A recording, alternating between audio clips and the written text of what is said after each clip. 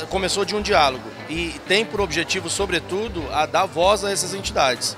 Né? Essa é uma primeira ação e a razão de estar aqui na escola é exatamente o, o, o foi um voto democrático. Né? Colocamos para as entidades e as entidades escolheram como primeiro bairro a, a, o projeto a se iniciar aqui na escola né, é, Gilberto Freire. A gente vê isso aqui como suma importância para a comunidade, para estar tá trazendo as pessoas para, para o, o convívio.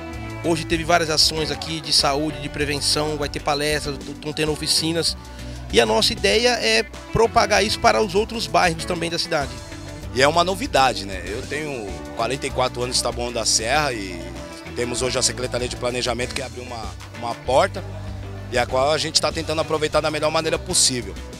Então a gente tem hoje 25 entidades aqui envolvidas nesse projeto e todas trouxeram seus trabalhos, né? As suas plataformas de trampo, suas ferramentas, e a gente tem luta, é, uma infinidade de coisas, artesanato, palestra, uma infinidade de parada que está rolando. E eu acho importante isso, porque essas pessoas do terceiro setor estão aqui, estão fazendo esse trabalho formiguinha há um monte de tempo. São diversas ações, a gente, nós estamos tendo aqui atividades como Poupa Tempo, a, a, com serviço à população, assistência jurídica, Estamos tendo aqui o TRE realizando o cadastramento da biometria, que hoje, né, por ser obrigatório na cidade, então realizamos o convite ao TRE é, e eles se prontificaram a estar aqui conosco a realizar o cadastramento da biometria. Ou seja, nós estamos levando essas atividades para a comunidade.